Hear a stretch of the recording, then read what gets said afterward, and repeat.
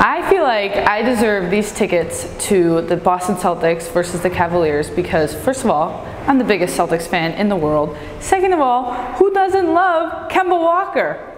No, Boston Celtics, what's better than that? I want these tickets more than anybody. Let's go!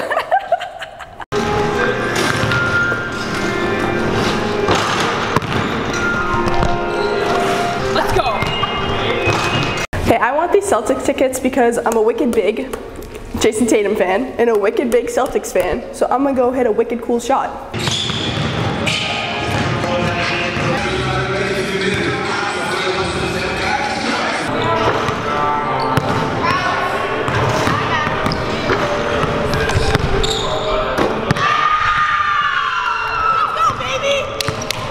Uh, you know, Kemba Walker just came on the team. I don't know if you know, he's from Connecticut. I'm from Connecticut. Us Connecticutans. I think that's what you call them. We gotta stick together. So that's why I own the tickets.